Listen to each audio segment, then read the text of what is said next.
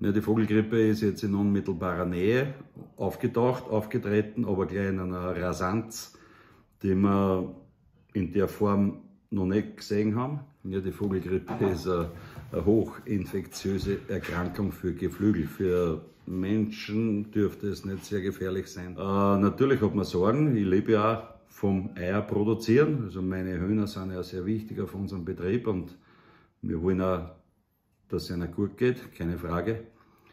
Aber diese, diese Seuche, Vogelseuche, ist einfach eine Problematik, die über Zugvögel zu uns gekommen ist. Alle Jahr wieder und heuer in einer Form, die wir so noch nicht kennt haben.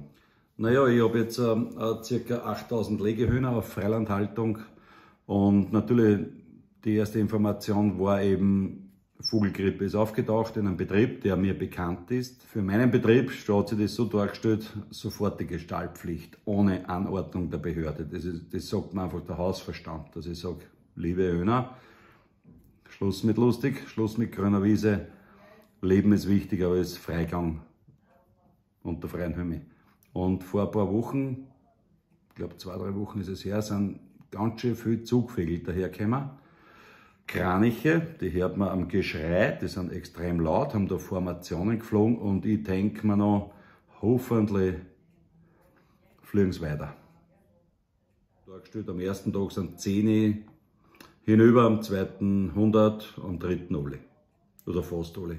Ein Teil hält es aus, interessanterweise, die sind resistent.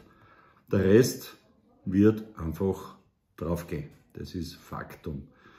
Äh, und da stellt sich dann die Frage, wie schnell kann ich da eingreifen und diesen Tieren das lange Leiden oder das, dieses Leiden ersparen, weil sie ersticken. Das ist eine, eine aggressive Erkrankung auf Lungen, also Atemwege und das ist sicher nicht lustig.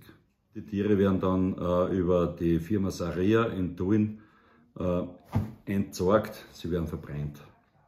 Der Mechanismus, der da in Gang gesetzt werden muss, weil es soll ja keine Verschleppung äh, passieren. Das ist extrem aufwendig. Also was wir momentan sehen bei den Betrieben, die betroffen sind, was da vor Ort passiert mit Bundesheer, mit Spezialfirmen, mit, mit allen möglichen, also da wird schon ordentlich aufgefahren. Es steht da was auf dem Spiel.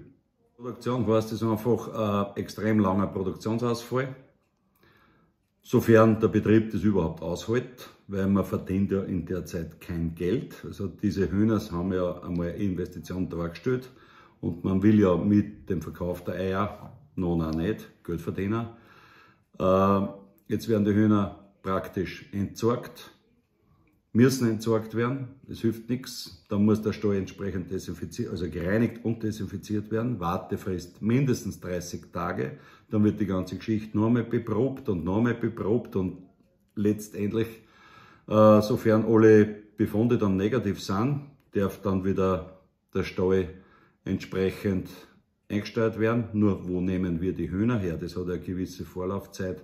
Äh, Hühnereier haben schon mal gewisse Brutzeit. Ich brauche einmal Bruteier. Ich brauche einmal Aufzuchtbetriebe, die ja, das sind ja nicht 20 Kerne, das sind ja ein paar tausend oder zigtausend, die diese Hühner produzieren und dann wird die Hen einmal, wenn es auf die Welt kommt, mindestens einmal vier Monate am Leben sein, dass sie einmal auswächst, legereif wird und dann auf den Legebetrieb kommt. Also das kostet die Betriebe mindestens einmal neun, zehn Monate. Im besten Fall, wenn nicht ein Jahr. Ja, alle die Hühner haben, ob es zwei Hähne sind oder fünf oder semi im eigenen Garten, bitteschön.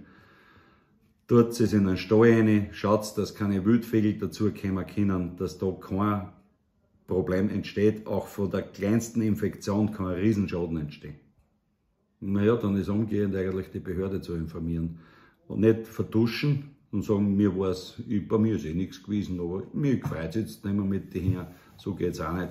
Es hängen ja Betriebe dran, es hängen Existenzen dran und das ist sehr wichtig, dass man sagt, okay, äh, sollten solche Fälle auftreten, dann muss ich das, es geht ja um nichts, aber es geht nur um das Wissen, wo die Behörde sagen kann, aha, so ist es, dann werden Maßnahmen gesetzt und dann kann man viel besser das ganze Virus auch eingrenzen.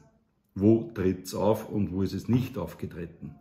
Das ist wichtig im Großen und Ganzen. Ja, hoffentlich kommt es nicht auf meinen Betrieb. Die anderen sind wirklich sehr, sehr gefordert und das ist, glaube ich, eine, eine ganz außergewöhnliche Situation. Jeder Bauer, der Viecher hat, ob es jetzt Kier sind, Stier, Schweine, ganz egal, jeder schaut, dass sein Viech gut geht. Und dann kommt die Situation, wo auf einen Schlag von einem Tag am anderen alle nicht mehr da sind. Und das trifft auch jeden Landwirt im Innersten.